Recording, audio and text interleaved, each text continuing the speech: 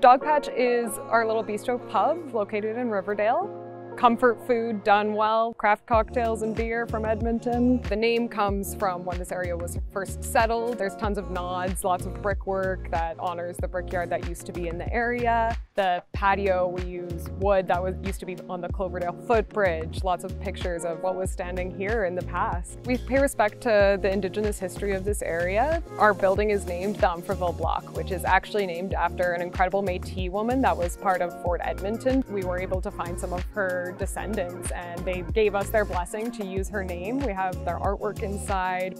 We decided to participate in Glass of the Sask because it just made sense with our whole mission that is to show off the river valley. It started conversations about why is the water important to us. We use water all over our business, in our cocktails, the ice that we use. We want to show people how beautiful it is, how beautiful nature can be right in the heart of the city.